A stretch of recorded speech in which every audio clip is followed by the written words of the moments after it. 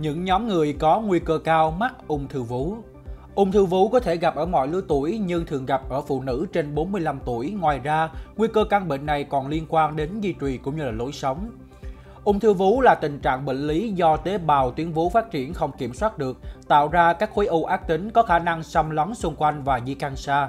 Bình thường các tế bào tuyến vú được sinh ra và mất đi theo một chu trình đã được lập từ trước. Cơ chế này giúp số lượng tế bào tuyến vú được sinh ra với số lượng vừa đủ cân bằng giữa số lượng tế bào sinh ra và tế bào chết đi. Khi có các đột biến gen xảy ra, hội tụ đủ các điều kiện đặc biệt để vượt qua được hệ thống kiểm soát miễn dịch của cơ thể, tế bào tuyến vú sẽ được sinh ra liên tục, mất kiểm soát và tạo thành các khối u bao gồm rất nhiều tế bào không bình thường. Đó là các khối u ác tính tại vú hay còn gọi là ung thư vú.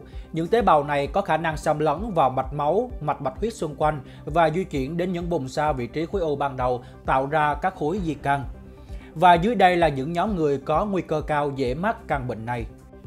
Về tuổi, ung thư vú có thể gặp ở mọi lứa tuổi nhưng hay gặp nhất là ở phụ nữ trên 45. Tuy nhiên, xu hướng ngày càng nhiều người trẻ mắc căn bệnh này, đặc biệt là những phụ nữ không sinh con, sinh con đầu lòng sau tuổi 30, không cho con bú có nguy cơ cao mắc ung thư vú.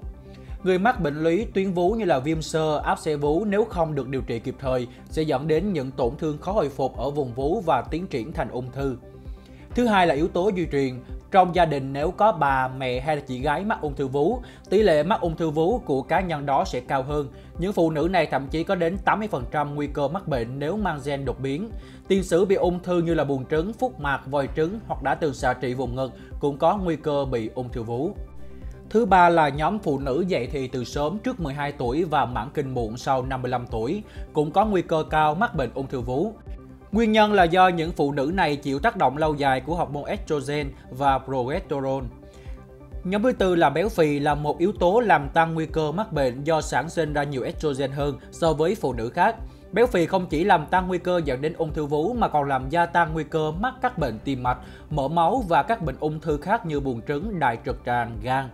Một yếu tố nữa là lối sống và sinh hoạt không khoa học, chế độ ăn uống nhiều calo, cơ thể lừa vận động sẽ làm lượng mỡ trong cơ thể tăng cao, dẫn đến béo phì và làm tăng nguy cơ mắc ung thư vú. Ngoài ra, hút thuốc lá, uống rượu bia, căng thẳng kéo dài cũng dễ dẫn đến ung thư vú. Và cuối cùng là phơi nhiễm phóng xạ. Tuy lượng phơi nhiễm từ tia X là rất thấp, nhưng nữ giới cũng cần hạn chế tiếp xúc với môi trường phóng xạ để tránh nguy cơ mắc bệnh. Trên đây là những nhóm phụ nữ dễ mắc bệnh và các yếu tố nguy cơ cao dễ dẫn tới tổn thương bệnh lý ung thư. Vì vậy, nếu bạn trong độ tuổi nguy cơ cao và thuộc các nhóm đối tượng trên, nên đi khám định kỳ 6 tháng một lần tại các cơ sở chuyên khoa ung bướu để có thể phát hiện sớm các tổn thương, phát hiện càng sớm, từ đó can thiệp, điều trị sớm giúp tỷ lệ khỏi càng cao hơn và giảm thiểu tình trạng tử vong.